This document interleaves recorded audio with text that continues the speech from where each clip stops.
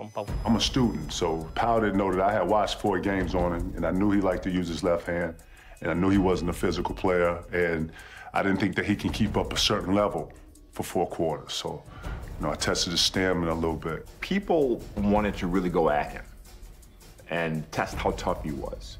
So Powell had to learn real quick that either he stands up for himself and says, look, you know, I'm not the one to mess with, or it's going to be a real long career. Kevin Garnett's a ferocious player. If you're going to go at Kevin Garnett, you better come hard. He had a quiet animal within him. And just like any beast, when they're quiet and they're sleeping, if you rub his head really hard, you're probably going to get your hand bitten off. Pau hizo una jugada estratosférica en la cara de Garnett muy buena. Come on, Grizzlies. Make a run here. Garnett's wanting to go. There, There he go. goes. Oh!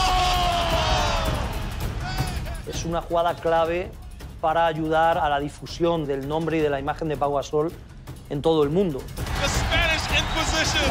Gasol says, K Pasa, big ticket. It was thought of that he'd be a non-physical player, not be able to handle contact, but he quickly demolished that thought. Every kid out of Europe had the soft label. And I thought that dunk was Powell's arrival. You know, basically saying, no, I'm a baller. Uh, and he was. He's a lot stronger and a lot more physical than he's given credit for. It was, it was sort of a moment like, yeah, dude, I'm, I'm here. I'm not going anywhere.